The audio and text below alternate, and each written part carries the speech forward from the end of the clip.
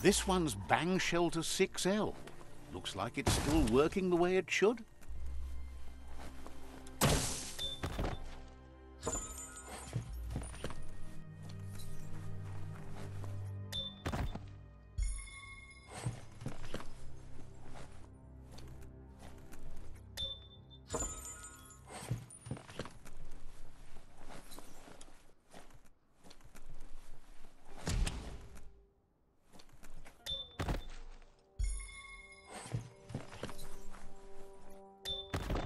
ハハハハ!